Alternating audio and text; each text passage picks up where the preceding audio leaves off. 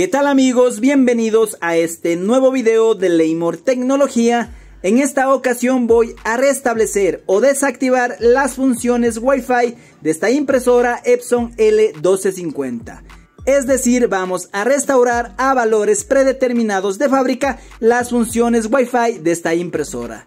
Y así podremos reconfigurar el equipo, solucionar cualquier problema que tengamos con la conexión Wi-Fi o agregar a una nueva red inalámbrica. Una vez que hagamos el proceso, estas dos luz LED indicadoras del Wi-Fi se apagarán y así quedará lista la impresora para reconfigurar de forma inalámbrica. Muy bien, lo primero que vamos a hacer es apagar la impresora.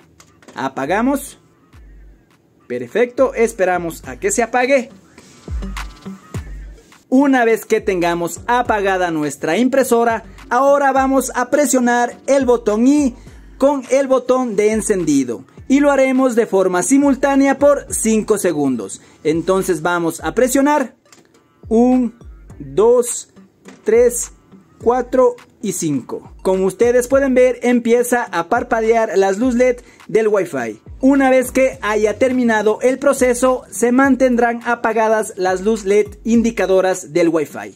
Muy bien, entonces esperamos. Y como ustedes pueden ver, aquí ya no tenemos encendidas las luz LED indicadoras del Wi-Fi. Eso nos indica que restauramos a valores predeterminados de fábrica las funciones Wi-Fi de esta impresora. Y ahora ya podemos nuevamente configurar de forma inalámbrica, agregar a una nueva red inalámbrica o solucionar cualquier problema que teníamos con nuestra conexión Wi-Fi. Muy bien, entonces eso ha sido todo en este video.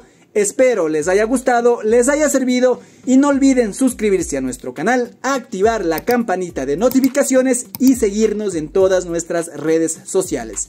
Hasta la próxima.